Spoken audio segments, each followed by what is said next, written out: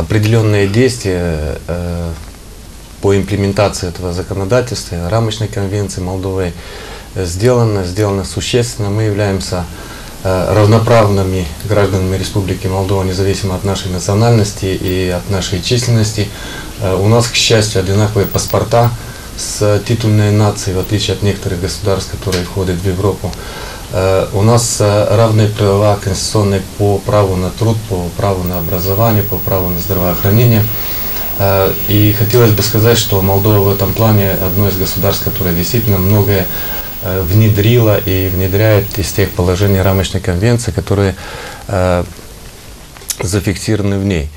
Тем не менее, и тот, хотя и в урезанном виде уже принятый закон о правах лиц, принадлежащих к национальным меньшинствам, э, есть статья 22, которая регламентирует, что э, при принятии правительствами, министерствами, ведомствами э, решений в области э, образования и культуры, они обязаны консультироваться с э, общественными организациями э, национальных меньшинств, что, к сожалению, не всегда э, происходит, и мы имели этот опыт, когда в 2011-2012 году мы не имели финансирования по обучению своего родного языка.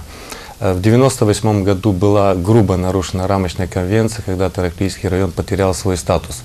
И мы э, хотели бы сказать, что э, закон, принятый о недискриминации, это не дискриминация э, в отношении к законодательству. Да, мы не дискриминируемся, э, и равно применяются все э, статьи и всего законодательства к нам, как лицам, принадлежащим к национальным меньшинствам, так и к лицам титульной нации, но это не означает равные права.